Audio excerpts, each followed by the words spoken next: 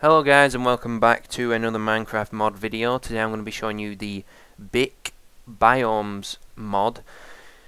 It actually adds over 220 new biomes but only about a quarter of them are noticeable some because some are uh, quite the same as uh, the ones which are currently in the game so there might be some few differences here and there but yeah, I haven't actually been through this mod before, so this will be my first time seeing it.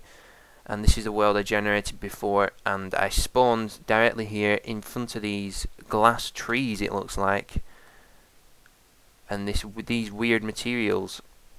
Now I don't have a clue what this is, but it looks like a glass forest or something. I don't have a clue. There's over 220 biomes, so I'm not going to know all the names. Okay, I've just come across another biome here, which looks like another jungle kind of biome thing with red leaves and quite a lot of vines. Oh my god, they're on fire. They're kind of like fire leaves. And there's these other blocks as well. And also, it looks like he's put the clouds down to a lower level. Glitching out a bit. Here we have another new biome. It's the... I think it's kind of a big difference from the jungle biome, seeing as there's all, loads of them uh, little bushes which get in your way. But as you can see, it's like a little...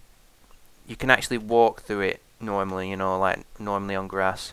And they're absolutely massive. There's quite a lot next to each other, so it makes it look uh, like it's crowded. Very, very big. And also here you can see that the water's changed to kind of a dark, greeny, mushy colour to indicate that you're near here. With the mod also you get some uh, new blocks, new items, new ores, and I'll just go down here to show you. So there's all different kinds of new armor, weapons, some staffs, skinkium helmets, cool looking pickaxes and weapons, turrets, turret heads so you can build the turret circuit boards, ninja elm emblem, all very cool.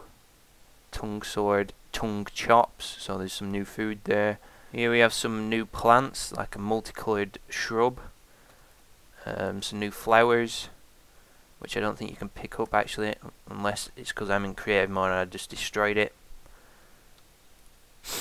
It's also good to mention that it generates really big mountains. That's one of my favourite parts, is the really big mountains and uh, coves it creates. Okay, so this mod is miles too big for me to cover it alone.